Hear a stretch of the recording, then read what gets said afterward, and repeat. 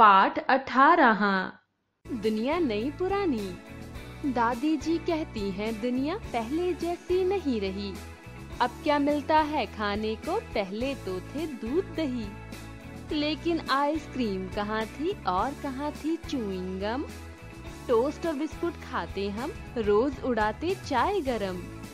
बैठ बैल गाड़ी तांगे में लोग पुराने जाते थे। ढाई कोस पार करने में ढाई रोज लगाते थे।